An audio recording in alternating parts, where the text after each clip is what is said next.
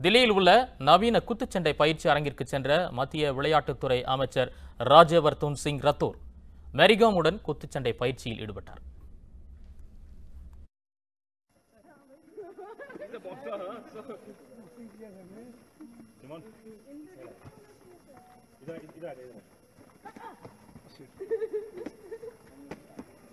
ये ये खतरा है ब्लॉग ये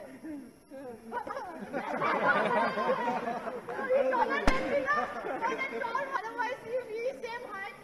If we are in the same height, no, you are.